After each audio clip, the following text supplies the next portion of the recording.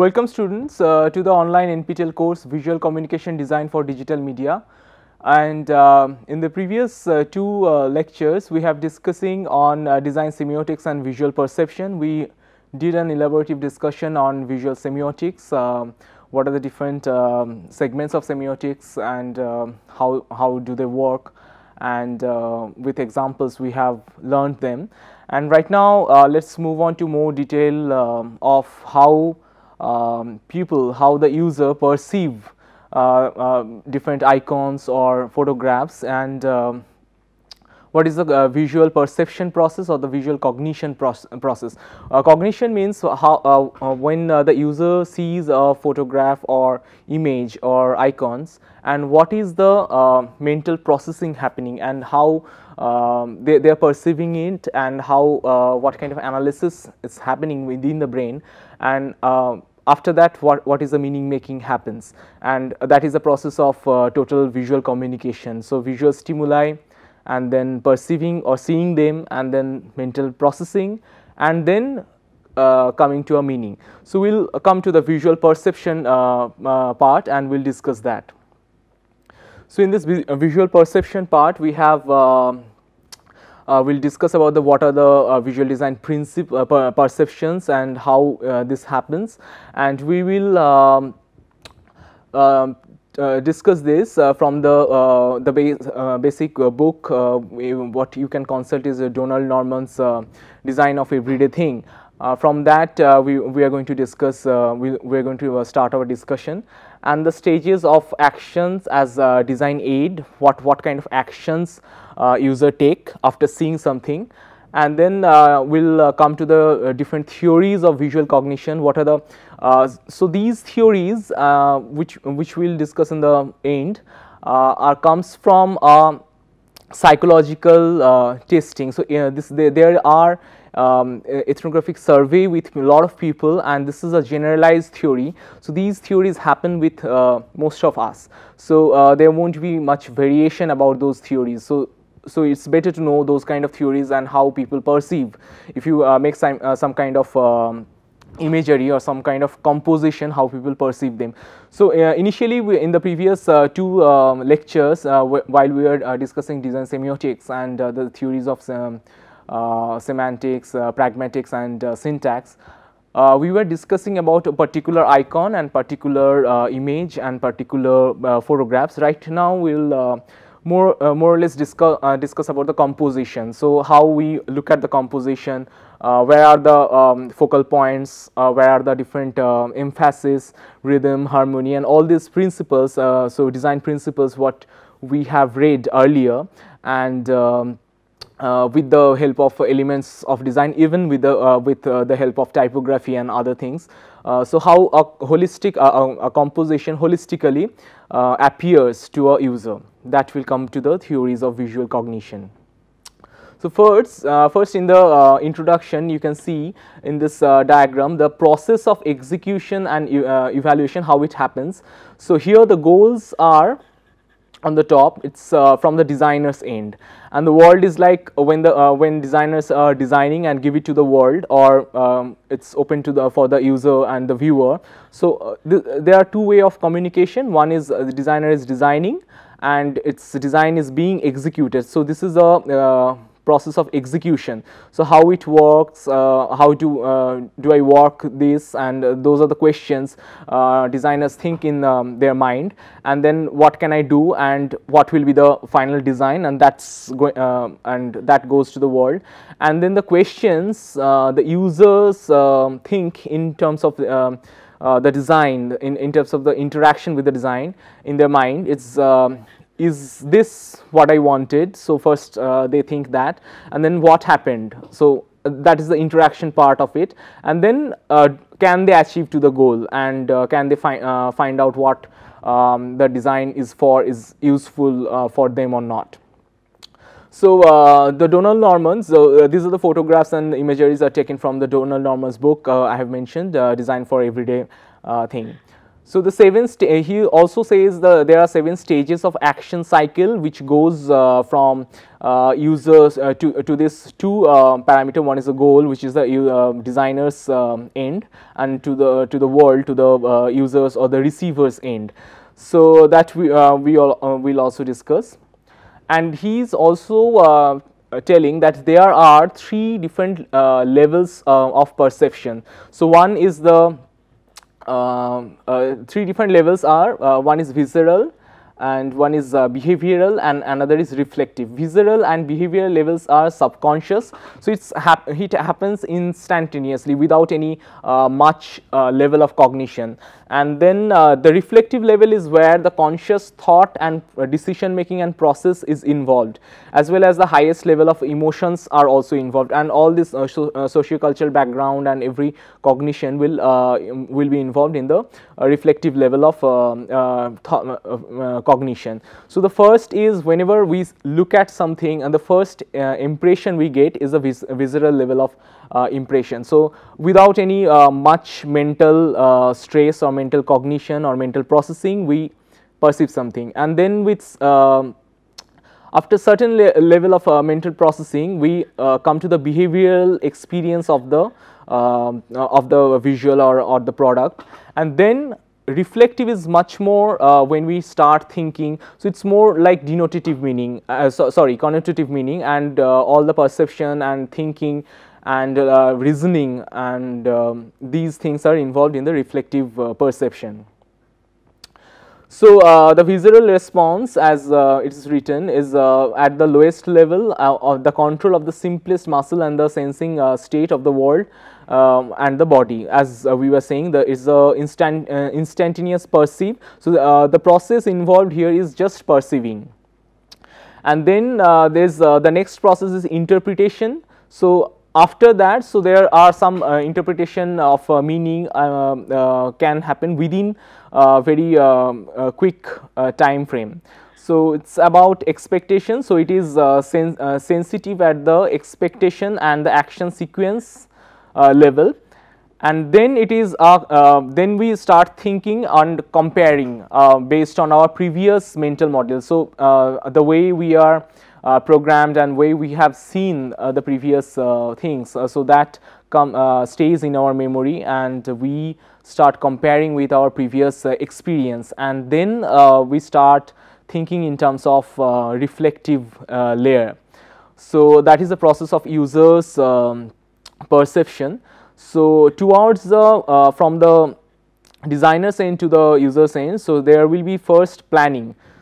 So, first designers has to plan and that uh, designer has to think first and uh, think about all this uh, processing uh, user will um, um, uh, do in um, their mind. So, first designer should think about the reflective layer. So, what is the highest uh, level of thinking. So, the most complex thinking um, and um, meaning making process should be first um, thought and sorted um, uh, sorted. So, that is uh, how Donald Norman is dividing the uh, thing and then uh, the um, we should specify the designer should specify the smaller um, um, parts that is the specification level and that is corresponding to the uh, behavior behavioral experience of a design and the next is the perform how uh, things perform. So, for example, the UI transitions and all these things uh, the small uh, things like when you click and something pops up and the way it pops up or uh, the way it um, the uh, one, one breadcrumb uh, comes again and in a drop down men menu the way it comes. So, these can be the performance and a very visceral level of um, design. And the uh, then specifications like uh, colors and minor specifications of um, buttons what kind of look and feel it generates like um, whether it's um, um, sharp, has sharp edge like Google's material design or beveled and more skeuomorphic experience that kind of things will come in the uh, spec uh, specify or behavioral level and then reflective level will be the total information architecture how things work and how uh, what is the execution process of uh, the webs uh, in, in case of web application and the holistic uh, total formulation that will be the reflective layer of design. And um, then uh, as we were discussing this uh, there are seven stages of actions and uh, design aids that happen between um, the user and the uh, designer. So, uh, that also corresponds from the same uh, diagram but um, this has been taken from the design of everyday thing uh, Donald Norman. So, we can look at this these are the uh, three actions happening from users uh, sorry from designers uh, end to the users end. So, uh, designers first plan then specify and then the uh, things about the what kind of performance it will give. So, these three things are from this direction and the other three things are from receivers end to the or the uh, target audiences end to the uh, uh, to the design. So, how it performs performance um, uh, um, towards the performance is visceral the perceiving first and then interpreting and then uh, compare. So, from that we have what happened that is the perceive level and then what does it mean that is the interpretation level and is this okay. So, how uh, whether the goal is uh, fulfilled or whether uh, the things are in the right um, direction or whether the um, complete uh, process is achieved. So, that is the uh, um, comparing and uh, the highest level of perceiving and then towards the designer to the user's end it is like uh, planning is what are the alternatives that we have to uh, plan and what how uh, what are the different ways to achieve goals. So, that is the planning and the biggest um, the broader or the holistic problem solving and then specifying what can I do, how what specific path can designer take to achieve that goal that is uh, specifying that is um, uh, corresponding to the behavioral level and then um, how do it how do I do that. So, that is the minor fine finest um, specifications of the way it happens. The, for the example, the UI transitions and the um, overall um, experience of the um, web application that is this um, that is corresponding to this. So, it is feed forward and that is the designer and towards the uh, that is the feedback. So, uh, uh, users experience and towards the product and uh, together it is uh, what do I want to accomplish that is the goal. So, that is the highest level of that is the hol holistic uh, that, um, level of um, action. So, that every other 6 actions comes under the umbrella of the uh, what has to be accomplished or what is the goal or the product. So, what designers give give to the world that is the um, under that uh, action all these other 6 uh, actions are under this umbrella. So, again uh, uh, different uh, stages. So, each and every stages the questions uh, raised for each and every uh, stages like what each and every stage does. Uh, he have given each a terminology for each and every stages. So, discoverability is um, it is the possible it is possible to determine what actions are possible and the current state of the device and uh, that is the uh, possibility uh, that, that is the planning level. And then feedback there is full and continuous information about the result of action and the current uh, state of the product or service. After an action has been executed it is easy to determine the new state. So that is uh, that corresponds to what can i do? That that, that is the process of um, this and the conceptual model the design projects uh, all the performance uh, needed uh, to create a good conceptual model and uh, of the system leading to understanding the feeling of the control. The conceptual model enhances both uh, discoverability and evaluation of the result. So, conceptual model is also uh, like a designer has a, um, conceptual model and user has a conceptual model. So, these two conceptual models should blend to each other and should overlap and the uh, way it is uh, the more they are integrated to each other and more they are um, matching to each other the better the user experience will be and uh, then it is the affordance does the proper affordance exist to make uh, the desired action possible. So, it means all actions that are physically possible. So, those all the options those are open um, uh, to um, um uh, go, uh, go to the goal is um, all affordance. I will give example of this. then the concept has applied to design. It uh, started also referring to only those actions possible in uh, which uh, we were aware of. As we were discussing that the mental model or the conceptual model. So, in design, in, in case of design, an actual definition of affordance, all the possible paths of going towards um, a goal is affordance. But in terms of design, like all the possible paths which which are acceptable which are commonly acceptable are affordance for example if we take an example of an information architecture so here you can have a look at this. So information architecture generally looks like this. So you reach onto the home uh, page and then there are, are uh, for example here there are five options. So five tabs are there. Under each and every tab you, you can uh, go to the other different pages if, if you uh, click um, onto the drop down of each and every tab so, here from one tab you can go to the other tabs um, uh, one link. So, they, they are linked. So, uh, for uh, uh for example, one possible way of um, physical possible way of going towards this this section is straight going towards this uh, menu and uh, going next and this is the possible path and another possible path is following this path and going back to this menu Another other possible paths will be you can go to the other menu, explore and then come back to this menu and then again reach this. So, these are the various possible ways of information architecture and it depends the, inform, uh, the uh, user uh, friendliness depends on how quick you are reaching towards the information architecture that depends on how uh, well the information architectures are uh, laid and how well they are um, how, how much comprehensible uh, they are towards the user. For other example, you can see there is a, a, handle of uh, uh, when we look at the teapot, we understand uh, understand that tea will be there, and we will hold the teapot from this side, and that we will pour tea from this side.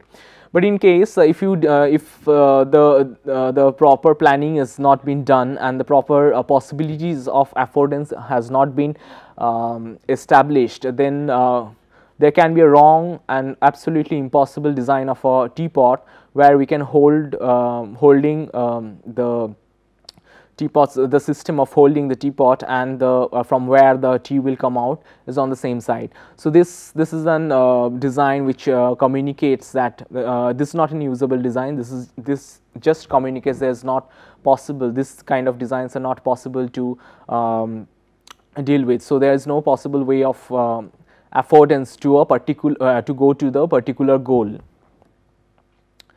So, next is uh, signifiers. So, signifiers this signifiers is different from the signifiers we were discussing in under the chapter of uh, semiotics and um, uh, under uh, semiotics. So, here it is um, effective use of signifiers ensures discoverability and that the feedback is well communicated um, to, uh, towards the uh, intelligible. So, um, the signifiers has to be uh, uh, we, we can discover the proper uh, use of the um, product. So, if we look at a product the it should communicate the meaning towards the user so that they can use that and even the visual communication and the web um, architecture uh, the information architecture of a web should communicate uh, the user and the proper after proper action from the user um, it, it should go um, it should give um, expected outcome. And then there is mapping, the relationship between the controls and the actions follows the principle of good mapping. So, um, uh, if, if, if there is a control and the actions are um, coherent and then the uh, mental mapping so what user perceives the uh, because the information architecture what we are um, uh, showing user do not see that they perceive the in information architecture and uh, though we are um, like this, we perceive the information architecture first and then we work out the uh, detailed model. So, we are going uh, towards this process and uh, users are going towards the reverse process. So, they start looking at the um, UI transitions, they start uh, deciphering the meaning and then finally they understand the information architecture of a web page. So, they understand the holistic uh, plan later. So, how well they understand, so um, uh, the better they will navigate through the uh, website. So, this um, final processing of uh, all these um, informations and uh, correlations happen later and uh, with um, a higher degree of uh, visual cognition. And next is the constraints. So, providing phys physical, logical or semantics and cultural cons constraints guides actions and uh, eases uh, interpretations. For example, if we take a, um, physical product design, so there are particular batteries and battery slots. So, uh, their shapes and their um, signage signs like we have positive and negative signs in the battery, we also have the positive and negative signs in the slots so and also their shapes and everything matches. So uh, user understands that this must be the uh, battery um, slot. So this is a very trivial example. And another in uh, terms of web uh, design we can have that um, there are uh, through colors shapes textures and illumination we can highlight which buttons are clicked. For example if you look at this um, image so here there are four tabs. One is file home share and view so, uh, with the uh, help of different color and uh, and different uh, color of the text and different color of the background, we can understand this file button is the main uh, button, but the home button is clicked over here because it's the line continues from here and everything all these buttons are under home button. So, home buttons are different, differently uh, dealt in terms of visual design. So, everything has been designed by a designer and then it has been coded. So, this uh, in, in this Microsoft Office um, uh, this um, application.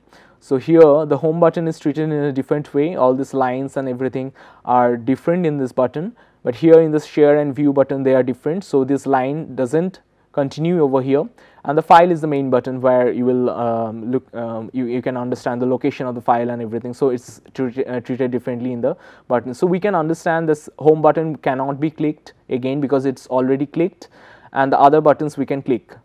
So, these are the, uh, so uh, the constraint is um, because of the different visual style uh, and our previous uh, knowledge that this means something that we cannot click on this button because it is already clicked and this kind of informations are already um, uh, uh, are perceivable based on our previous experience.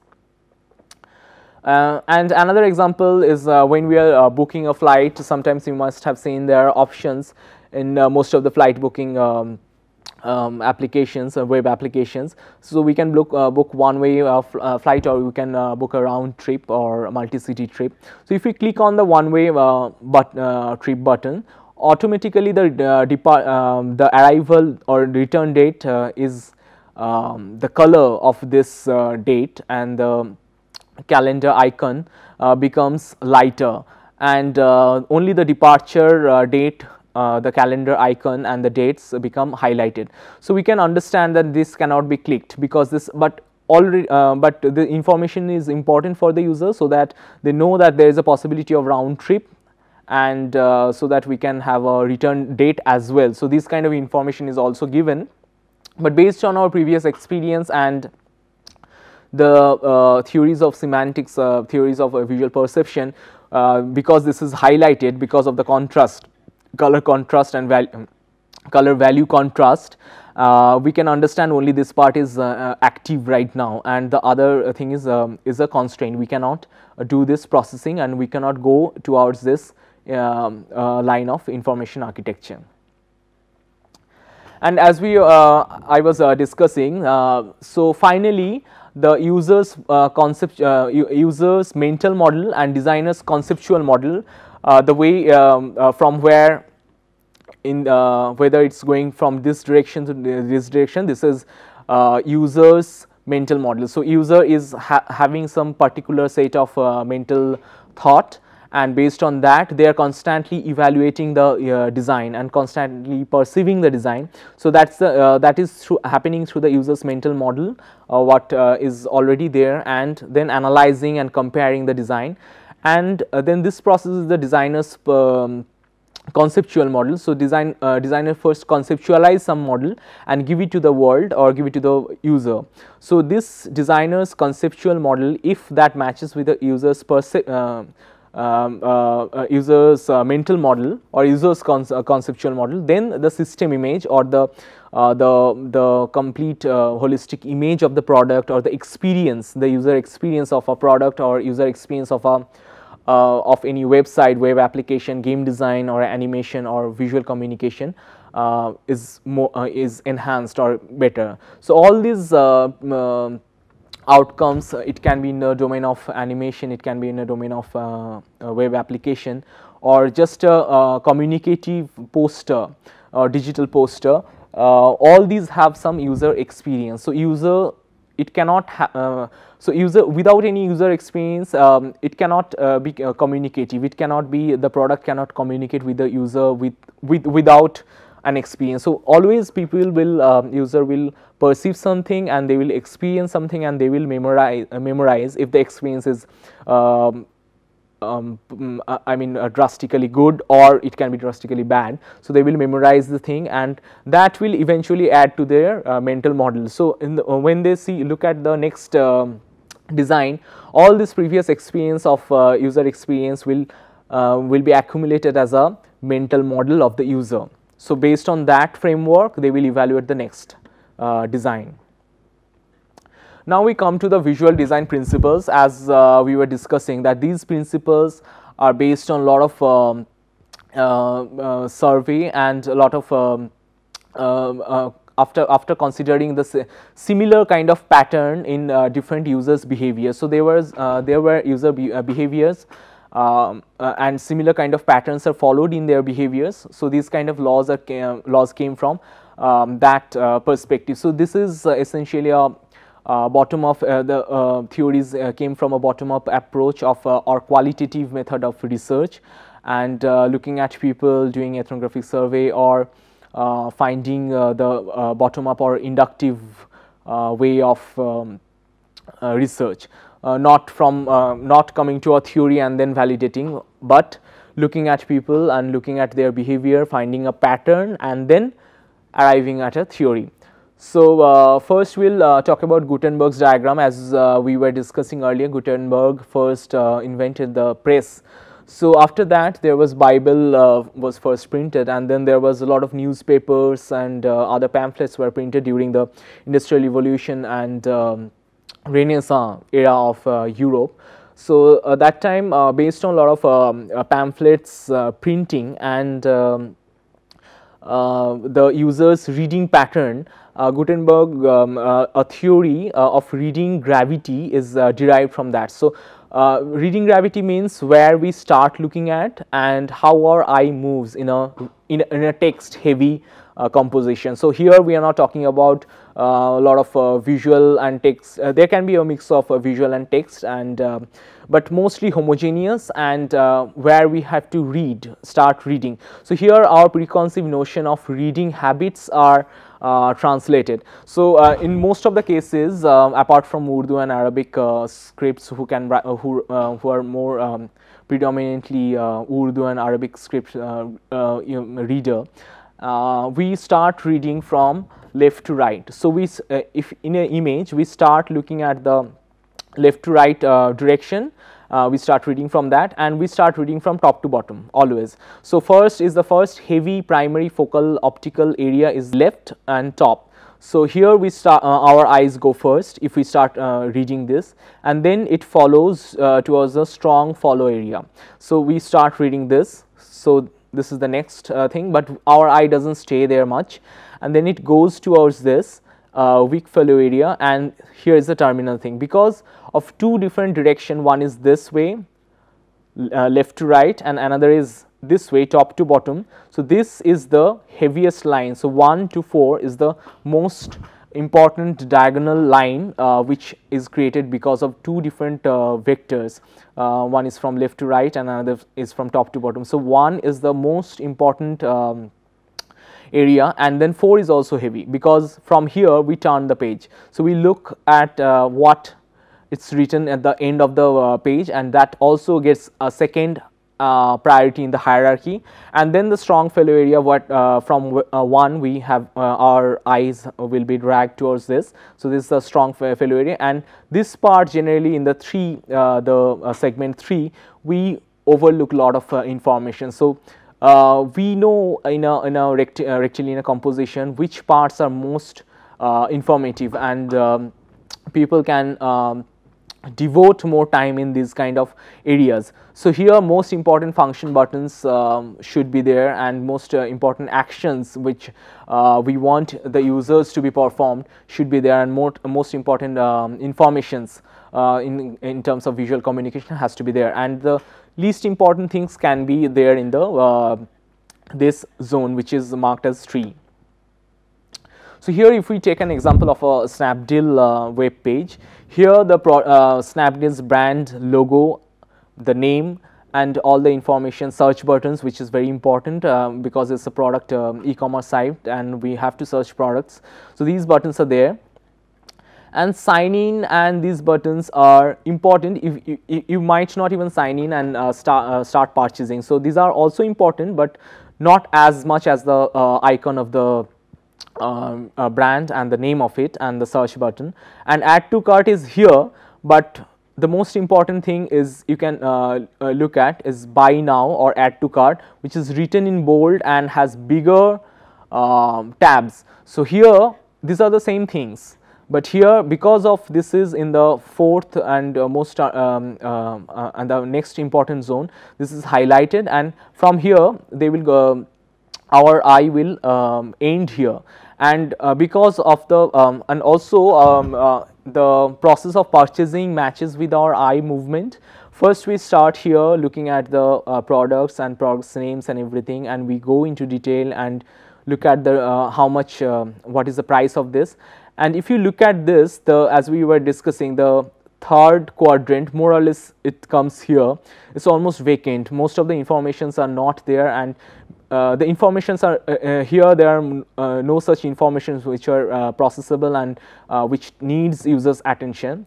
But here there are more more important informations like add to cart and purchase now which which is persuasive and e-commerce site has to be um, uh, the, uh, the, add to cart button and purchase button has to be uh, very very much visible. And but that comes after checking out the products uh, detail and all these uh, uh, things. So, fourth button uh, uh, or the buttons it uh, of add to cart and buy now is there in the fourth quadrant. It could not have been the other way around. So, it could not be placed here first you can, can you cannot add to cart and then look at the product. So, that does not happen. So, this also corresponds to our users eye movement and the way we look at so, we will also uh, introduce you uh, to the one equipment that is eye tracker. You must have uh, heard about this. So, uh, the way uh, this is like a glass and user wears it and uh, user testing can happen based on that and we can take the data of where people are looking at. So, in which directions user are looking at and which are the more um, interesting areas uh, it can it can uh, tell you in terms of uh, and it can generate a heat map and from that heat map, map in, you can decipher the uh, areas which are more uh, most important. So, similar things has been done by Jakob Nielsen. It's based on Gutenberg's di diagram and he have tested some of the informative uh, page layouts. Uh, Jakob Nielsen has been uh, is tested with some uh, users.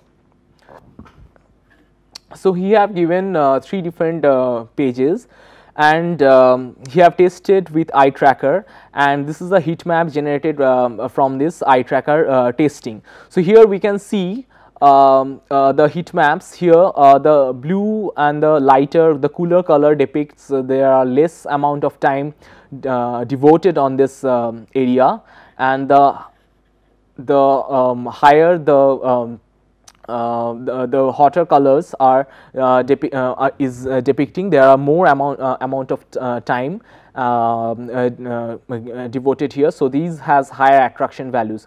So, from here it also says so this part is important and here uh, in this case there were no uh, such information over here so it's not um, visible. In this case you can see one uh, this is highlighted and this is also highlighted. So first quadrant and second uh, the fourth quadrant is also highlighted. And we can see some uh, in the second uh, two different fallow areas there are also some spots. So here from here he is saying because our reading habit we scan the um, informations and we read some um, lines and then jump and again start reading there. So, Gutenberg's diagram happens in multiple um, uh, segments and multiple breaks. So, here we start reading and then we uh, skip some uh, areas and then, then again start reading from here so, so that we do not miss a lot of information. So, we start concentrating and then concentrations again uh, um, uh, starts after um, uh, after few lines. So, here you have um, given a model of F shaped uh, diagram. So, we start reading then skip something and then again start reading so that uh, in terms of scanning uh, in terms of fast and quick scanning. So, this is described here. The next is rule of third. We um, um, uh, some of um, us we are uh, who, who uh, are also associated with photography and visual communication might, uh, might have seen that in camera also this kind of grid appears. So so that it uh, develops the uh, complete rectangle into nine different segments. And here after um, dividing so these kind of segments so these four dots if we place our um, uh, main subject or focal points in these four dots uh, a composition looks interesting. And interesting in terms of um, like if you if you po, um, uh, put your composition if you uh, put your main focal point of the composition directly at the center all the other background becomes dull because our eye uh, in, a, in a pictorial composition um, before we are discussing about the Gutenberg's principle and F-shaped diagram was uh, text heavy. So, when we are reading text our mind behave differently and when we are looking at a picture and image we know that we do not need to read it and we do not uh, we, uh, we just perceive then our um, eye uh, behave differently. We look at the center first. So, if our uh, main focal point is at the center we skip a lot of things uh, which is there around the uh, main subject. So, other part of the um, image does not have does not get much emphasis and our eye does not move. So, um, one of the criteria of a good composition is uh, the user's eye should move around the composition and all the information should be read.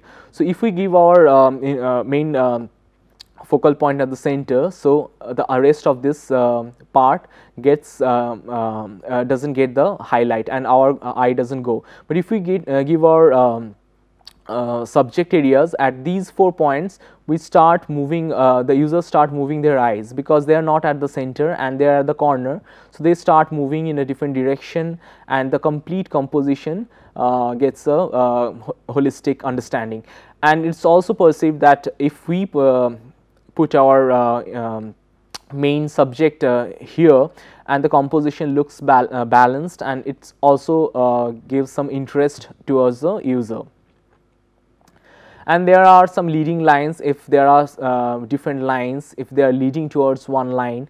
And uh, if they are diagonally leading towards uh, one corner it adds towards some dynam dynamism in the composition. And then we know the uh, golden mean proportion. If we find uh, if we establish a golden mean uh, ratio in our composition in, in our graphics and um, in our um, photography then it looks interesting because these kind of um, shapes Fibonacci series and golden mean uh, ratios um, looks um, uh, interesting and perceives as, as a uh, good composition and uh, people uh, feel these compositions are aesthetically in, um, better. Even in the architecture, Greek architecture, Parthenon, the, these kind of proportions has been established and because these proportions are interesting because these kind of proportions are found in um, uh, uh, in nature. So, you, you can uh, think about a conch shell which also um, um, uh, has this similar kind of pattern and even this kind of rectangle golden mean rectangle the ratios uh, can be found in uh, human body. Uh, you can uh, check Vitruvian Man by uh, Leonardo da Vinci. His Vitruvian Man is de derived from this golden mean ratio. And also if there are anomaly, if there are some interesting um, anomalies and different things in the pattern, then things looks interesting for uh, here you can uh, perceive this as a pattern and here only one color is different only one element of um, uh, design is changed over here and um, so it looks interesting and it uh, gives some uh, elements of some focal point in the uh, um, composition. Even you can see it is also there in the um, um, uh, applying uh, the rule of thirds principle. Then we come to the Gestalt principle. Gestalt is a um, Gestalt principle evolved from the psychology and uh, it's, uh, it's, it's, it talks about the unified whole and perception of whole to part or part to whole perception. So, there are uh, these uh, principles are um, evolved from German um, psychologist Gestalt in 1920s. So, there are five things one is similarity then continuation then three is closure then 4 is proximity and the 5 is figure and ground relationship. So, we will discuss each and everything uh, uh, gradually. One is similarity um, is like objects which look similar are perceived um, um, similarly uh, perceived as a group and if there are some something which is different uh, and perceived as anomaly and which is the other thing. So, here if we look at this uh, image, so these three all these um, uh, um, icons or pictograms uh, explain, explains a abstract form of human uh, gesture. So, these three things has a visual similarity. So, they are in a group and the other thing is um, other um, iconographic uh, um, depiction of a abstract abstract depiction of a human figure is uh, represented differently. So, he is not the part of the group of these people. The similar thing happens over here. So, this is the anomaly of the other things. So, these all uh, things uh, based on their colors uh, are grouped together and these are perceived as a different entity. The next is the continuation. So, if there is a continuation of um, line, continuation of color and uh, then we uh, perceive things in a continuity.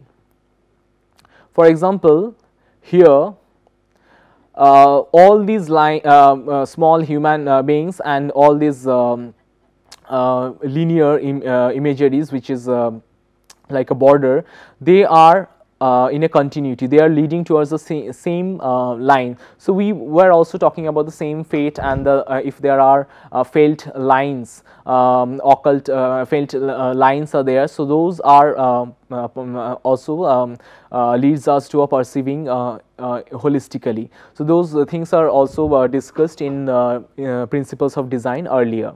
Then we have closure. Uh, based on the uh, theory of closure we perceive things together. For example, the Dodge uh, logo all these uh, shapes are different. They are not uh, joined together. So, this one and the, this uh, shape they are different, but together they communicate the head of a bison. Even the WWF logos panda. If you look at that the pandas all these um, um, black patches they are different uh, shapes only but together we uh, can perceive that uh, that, as a panda. Even uh, the formula one's logo the one is written over here.